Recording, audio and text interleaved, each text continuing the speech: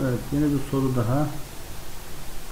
2 eksi 3 bölü 1 bölü 3 eksi 2 üzeri eksi 1 bölü 1 bölü 4 eksi 1 bölü 3 üzeri eksi 1 sonucunu soruyor.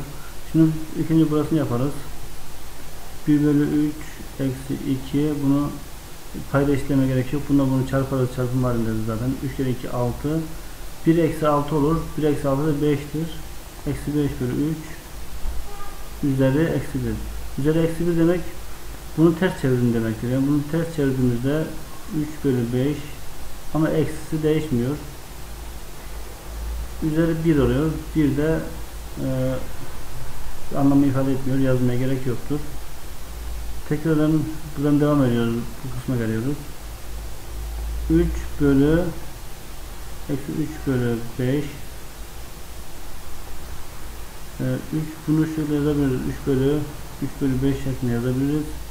Birincisini aynen yazıyoruz. İkincisini ters çevirip çarpıyoruz. 3'ler gider. Yalnız e, önündeki eksiği unutmuyoruz. Buradaki eksiği, şu eksiği. Burada bir de eksimiz var. 3'ler gitti. Eksi 5 kaldı. Ya, burası eksi 5. Şu kısım eksi 5. Şu eksi hala duruyor. Bu kısma dokunmadık. Bu eksi şuradaki parantez içinden geliyor. Bu kısmı yazacak olursak 2 eksi eksi 5 olur. Şurası için komple eksi 5 çıktı. 2 eksi eksi 5 eksinin eksinin çarpımı artıdır. 2 artı 5 eşittir 7'dir.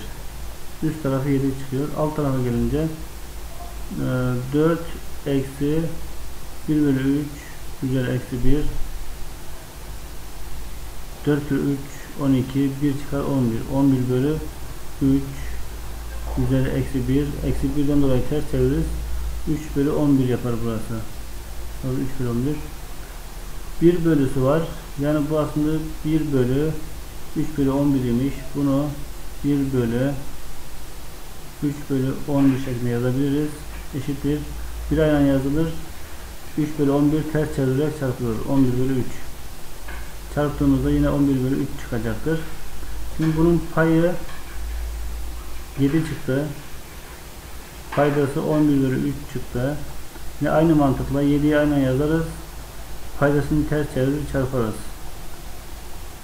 3 kere 7 21 bölü 3 e, pardon çarpma yok. Bölü 11. 21 bölü 11'dir cevabı.